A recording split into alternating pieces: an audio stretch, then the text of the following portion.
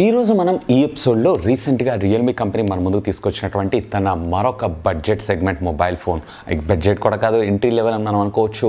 Realme C three ఈ mobile ఫోన్కి సంబంధించినటువంటి కంప్లీట్ టియర్ డౌన్ వీడియోని అయితే మనం ఈ వీడియోలో చూసేద్దాం.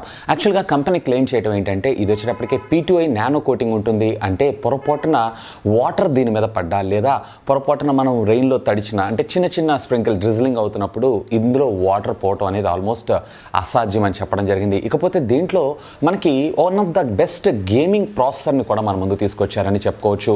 మీడియాటెక్కి సంబంధించినటువంటి జీ సెవెంటీ దీన్ని స్నాప్డ్రాగన్తో ఈక్వల్ చేశారు అన్నట్లయితే అరౌండ్ మనకి సిక్స్ సెవెంటీ ఫైవ్ లేదు అన్నట్లయితే సెవెన్ టెన్ దాకా వచ్చేటువంటి అవకాశం ఉంది. మరి దీని లోపల హీట్ కాకుండా వీళ్ళు ఏం ప్రికాషన్స్ తీసుకున్నారు? ఈ పీటీఐ స్ప్లాష్ రెసిస్టెంట్ కోటింగ్ ఏదైతే ఉందో ఎంతవరకు ఇది వాటర్ నుంచి సస్టైన్ కాగలదు అనేటువంటి విషయం అంతా కూడా ఈ వీడియోలో మీతో నేను ఈ టీ రేట్ వీడియో ద్వారా చూపించడం అయితే జరుగుతుంది. మరి ఆలస్యం చేయకుండా ఈరోజు ఈ ఎపిసోడ్ని స్టార్ట్ చేసేద్దామా? ఫ్రెండ్స్ నాదొక చిన్న రిక్వెస్ట్ ఇంకా మీలో ఎవరన్నా మన ఛానల్ని సబ్స్క్రైబ్ చేసుకోకుండా చూస్తున్నారో అన్నట్లయితే ప్లీజ్ సబ్స్క్రైబ్ చేసుకోండి. కొంచెం మోటివేషన్గా ఫీల్ అయ్యి ఇలాంటి వీడియోస్ ఎన్నో మీ ముందు తీసుకొని రావడం జరుగుతుంది. Hi this is Vasu again signing in welcome to my channel వాస్తుటి tech so ఇది friends Realme C three mobile phone అయితే దీని వెనకాలంతా కూడా మనకి ఏ విధమైనటువంటి గ్లాస్ టెక్నాలజీని అయితే వీళ్ళు యూజ్ చేయరు అంతా కూడా మనకి పాలీకార్బన్కి సంబంధించినటువంటి ప్లాస్టిక్ మెటీరియల్ని యూజ్ చేస్తారు. ఈ డిజైన్ అయితే నాకు చాలా బాగా అనిపించింది. సన్ రైజ్ డిజైన్ అని తీసుకొచ్చారు. చాలా బాగుంది. ఇకపోతే ఫోన్ అయితే నేను ఆల్రెడీ స్విచ్ ఆఫ్ చేశాను. సో ఫస్ట్ ఇనిషియల్గా నేనైతే సిమ్ కార్డ్ టూల్ని అయితే నేను ఎజెక్ట్ చేస్తున్నాను. అంటే సిమ్ టూల్ తోటి దీన్ని సిమ్ కార్డ్ రీడర్ని ఎజెక్ట్ అయితే చేశాను. సో జస్ట్ ఇదంతా మనకి పీటీఐ స్ప్లాష్ రెసిస్టెంట్ ఉంటుంది కాబట్టి ప్యానల్ అనేది కొంచెం పర్ఫెక్ట్గా ఉంటుంది. అంటే కొంచెం ఎక్కువ లోపలికి స్టిక్ అయి ఉండడం అయితే జరుగుతూ ఉంటుంది. సో ఫస్ట్ ఆఫ్ ఆల్ దీన్ని అయితే నేను రిమూవ్ చేస్తున్నాను. చాలామంది మీరు నన్ను అడుగుతారు సో గోల్డ్ పెంచుకుంటారు ఎందుకన్నా? అని చెప్పి సో దీనికోసమే నేను ఇట్లా ప్యానల్స్ ఏమైనా ఓపెన్ చేయాలి అన్నట్లయితే వాటి లాక్స్ రిమూవ్ అవ్వాలంటే కంపల్సరీగా మనకి ఇక్కడ నెయిల్సే చాలా బాగా ఉపయోగపడటం జరుగుతుంది. ఈవెన్ ఇందులో మనము ట్వీజర్స్ లేదు అన్నట్లయితే కనుక ఏదైనా సర్జికల్ బ్లేడ్స్ ఇట్లాంటివి యూస్ చేసామన్నట్లయితే లోపల ఉన్నటువంటి కాంపోనెంట్స్ డ్యామేజ్ అయ్యేటువంటి అవకాశం అయితే ఉంది. సో ఇక్కడ మీరు చూడొచ్చు ఓపెన్ చేయగానే జస్ట్ దీని లోపల ఉండేటువంటి కాంపోనెంట్స్ అన్నీ మనకు కనపడటం జరుగుతూ ఉంటుంది. సో ఇక్కడ మీరు చూసారంటే dual camera lens setup battery అలాగే ఇక్కడ మెయిన్ మదర్ బోర్డు ఉండడం జరుగుతుంది. ఇక ఇక్కడ వచ్చేటప్పటికే సబ్ పీసీబీ అంటే మనకు ఛార్జింగ్ స్లాట్స్ అలాగే రింగర్ బర్జర్ ఇవన్నీ కూడా ఇక్కడ మనకు ప్రొవైడ్ చేయడం అయితే జరుగుతుంది. ఇక ఫస్ట్ ఆఫ్ ఆల్ ఇనిషియల్గా మనమైతే కింద ఉన్నటువంటి ఛార్జింగ్ స్లాట్స్ని అయితే మనం ఓపెన్ చేద్దాం.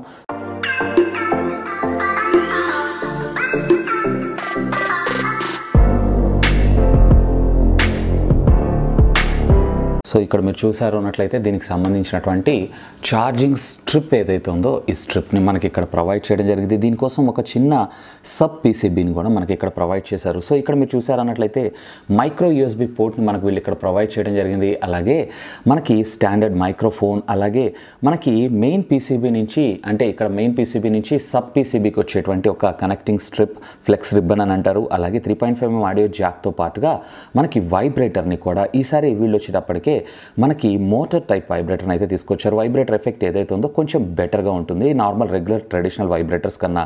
ఇక ఇక్కడ మీరు చూసారన్నట్లయితే నెట్వర్కింగ్కి సంబంధించినటువంటి కేబుల్ రిబ్బన్ అయితే యాజ్ యూజువల్గానే మనకు ప్రొవైడ్ చేశారు.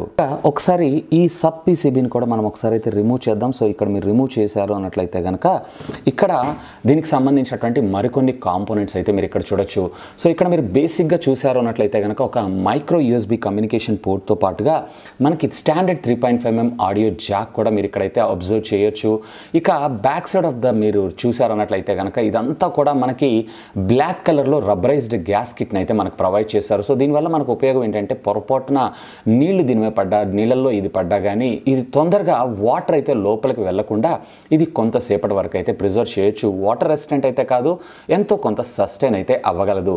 ఇక స్టాండర్డ్ మైక్రో యూఎస్బీ కేబుల్ అలాగే three point five MM audio jack. అలాగే వీటితో పాటుగా మీరు ఇక్కడ అబ్జర్వ్ చేశారన్నట్లయితే కనుక స్టాండర్డ్ మైక్రోఫోన్ అలాగే మెయిన్ మదర్ బోర్డ్ నుంచి పీసీబీ వచ్చి ఈ ఫ్లెక్స్ కేబుల్ ఏదైతే ఉందో ఇక్కడ కనెక్ట్ అవ్వడం అయితే జరుగుతుందండి. దీంతో పాటుగా నెట్వర్క్ కనెక్ట్ అవ్వడానికి ఒక పిన్ కూడా మనకి ఇక్కడైతే ప్రొవైడ్ చేశారు.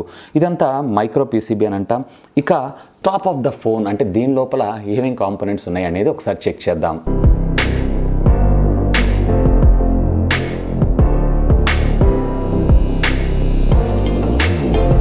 సో ఓవరాల్గా ఇక్కడ పైన టాప్ ఆఫ్ ద ఫోన్ అంటే మెయిన్ పీసీబీ ఏదైతే ఉందో అక్కడ కూడా నేను అన్ని స్క్రూస్ని అయితే రిమూవ్ చేశాను. ఓవరాల్గా మొబైల్ ఫోన్ మొత్తానికి కూడా అరౌండ్ ఒక ట్వంటీ స్క్రూస్ని అయితే వీళ్ళు మనకి ది ట్వంటీ స్క్రూస్ ద్వారా అయితే సెక్యూర్ చేయడం జరిగింది. ఇక టాప్ ఆఫ్ ద ప్యానల్ ఏదైతే ఉంది ఈ ప్యానల్ని నేను ఒకసారి అయితే రిమూవ్ చేస్తాను. రిమూవ్ చేస్తే మనకి ఇక్కడ మెయిన్ పీసీబీ ఏదైతే ఉందో ఇది దర్శనం ఇవ్వడం అయితే జరుగుతుంది. సో ఇక్కడ మీరు చూడొచ్చు ఇదే మనకి మెయిన్ పీసీబీ ఇక ఇక్కడ డ్యూయల్ కెమెరా లెన్స్ సెటప్ని అయితే చూడొచ్చు. ఇందులో వచ్చేటప్పటికే ఒకటి టూ మెగా పిక్సెల్ అండ్ మరొకటి వచ్చేటప్పటికే ట్వెల్వ్ మెగా పిక్సెల్ ఈవెన్ దీంట్లో వచ్చేటప్పటికే మనకి ఆప్టికల్ ఇమేజ్ స్టెబిలైజేషన్ అయితే లేదు.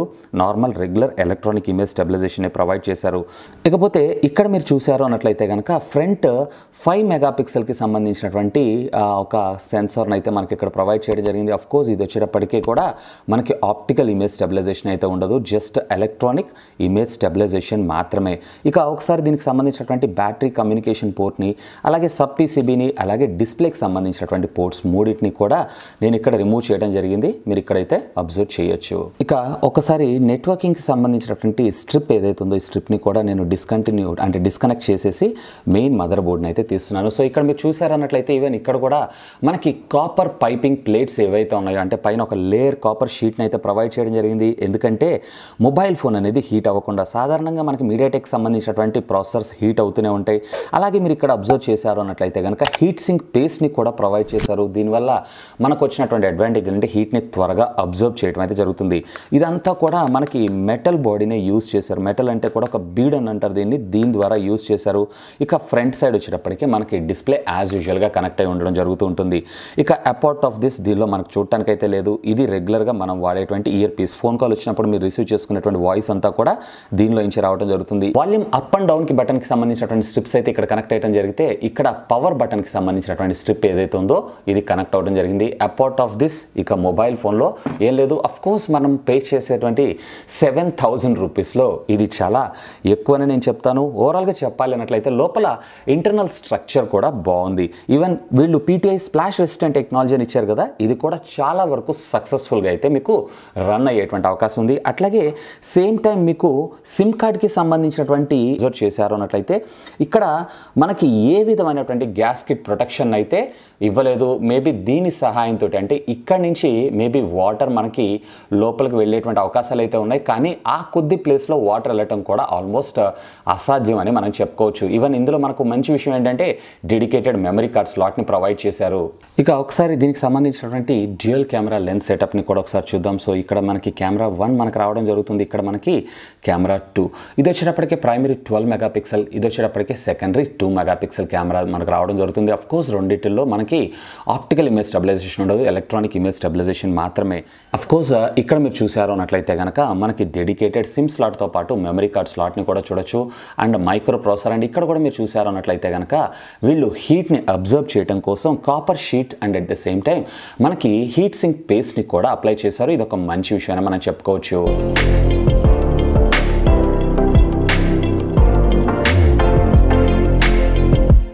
ఇంకా ఇక్కడ మీరు చూసారు అన్నట్లయితే కనుక మెయిన్ మదర్ బోర్డ్ నుంచి వస్తున్నటువంటి సబ్ పీసీబీ కనెక్ట్ నేను ఎక్కడైతే ఫిక్స్ చేశాను. అలాగే three point five MM audio jack అలాగే మదర్ బోర్డ్ కూడా. సో ఇక్కడ మీరు క్లియర్గా అబ్జర్వ్ చేశారు అన్నట్లయితే ఇక్కడ ఉండేటువంటి గ్యాస్ కిట్స్ ఏవైతే ఉన్నాయో మనకి వాటర్లో పడ్డ లోపలికి వెళ్ళకుండా ప్రొటెక్ట్ చేస్తున్నానని చెప్పుకోవచ్చు. ఇక దీని నుంచి వచ్చేటువంటి నెట్వర్కింగ్ కేబుల్ని అయితే నేను ఇక్కడ ఆల్రెడీ ఫిక్స్ చేసేసాను.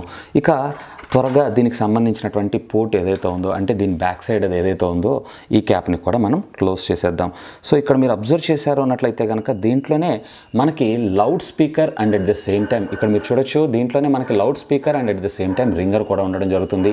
అండ్ కోర్స్ ఇది వచ్చేటప్పటికి కొంచెం మనకి సస్టైన్ అవ్వడం అయితే జరుగుతుంటే వాటర్లో పడ్డా కానీ తొందరగా వాటర్ అనేది లోపలికి వెళ్ళనివ్వకుండా.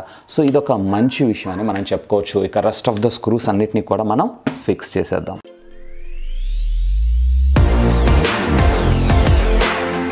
ఇక ఇక్కడ మీరు అబ్జర్వ్ చేశారు అన్నట్లయితే ఆల్మోస్ట్ uh, దీంట్లో ఉండేటువంటి కాంపోనెంట్స్ అన్నిటినీ కూడా మనం ఫుల్ ప్లెడ్జెడ్గా కంప్లీట్లీ రీ ఇన్స్టాల్ అయితే చేయడం జరిగింది. ఇక బ్యాక్ ప్యానల్ ఏదైతే ఉందో ఈ బ్యాక్ ప్యానల్ని ఫిక్స్ చేయడమే రెస్ట్ ఆఫ్ ద థింగ్ అయితే మనకి మిగిలింది. ఈవెన్ బ్యాక్ ప్యానల్ లాక్స్ కూడా చాలా బాగున్నాయని చెప్పొచ్చు. ఈవెన్ మనకి వాటర్ లోపలికి వెళ్ళటం అనేది కూడా ఆల్మోస్ట్ ఆల్ అసాధ్యం అని నేను చెప్తాను.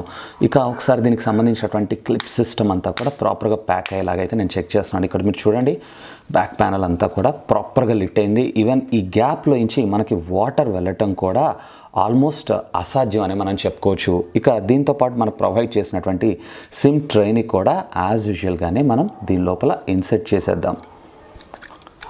సో సిమ్ ట్రే కూడా ప్రాపర్గా ఇన్స్టాల్ చేసాం. కాకపోతే సిమ్ ట్రే కూడా వీళ్ళు గ్యాస్ కిట్ అంటే రబరైజ్డ్ గ్యాస్ కిట్ ఇచ్చి ఉంటే బాగుండేదని నా ఆలోచన. ఇక ఒకసారి ఫోన్ అయితే బూట్ చేసి అయితే చూద్దామా? ఇది ఆన్ అవుతుందా ఆన్ అవ్వట్లేదా అనేది?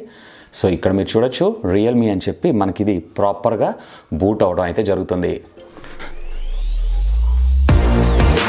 సో ఇక్కడ ప్రాపర్గా బూట్ అయితే అయింది.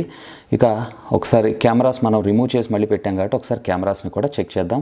ఇది వచ్చేటప్పటికే రేర్ కెమెరా ఇది వచ్చేటప్పటికే front camera so front camera is working fine and rear camera కూడా ప్రాపర్గా పనిచేస్తుంది. ఈవెన్ ఒకసారి పోర్ట్రేట్ కూడా చెక్ చేద్దాం ఎందుకంటే సెకండరీ కెమెరా కోసం that is also working fine so rest of the touch features అన్నీ కూడా perfectly working no need to worry even brightness adjustment ఇవన్నీ కూడా బాగానే ఉన్నాయి. నేనైతే పవర్ సేవింగ్ మోడ్ ఆన్లో పెట్టాను. ఎందుకంటే బ్యాటరీ సేవింగ్ కోసం.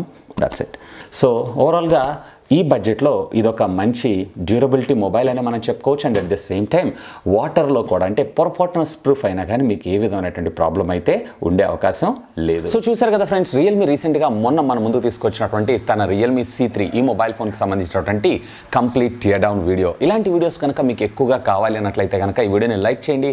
అలాగే దీన్ని మీ ఫ్రెండ్స్ అందరితో షేర్ చేసుకోగలరు సో దట్ నాకు కొంచెం మోటివేషన్గా ఫీల్ అయ్యి ఇలాంటి వీడియోస్ అని మీ ముందు తీసుకొని రావడం జరుగుతుంది. ఎందుకంటే ఈ మొబైల్ ఫోన్స్ అని నేను పర్చేస్ చేసి చేస్తున్నాను. మీరు ఇలాంటి ఎంకరేజ్మెంట్ ఇచ్చారు అన్నట్లయితే కంపెనీస్ మనకి రివ్యూ యూనిట్స్ పంపించేటువంటి అవకాశం ఉంది. హోప్ వీడియో మీకు నచ్చిందని నేను ఆశిస్తున్నాను. ఒకవేళ వీడియో మీకు నచ్చినట్టయితే ఒక లైక్ చేయండి. అలాగే దీన్ని మీ ఫ్రెండ్స్ అందరితో షేర్ చేసుకోండి.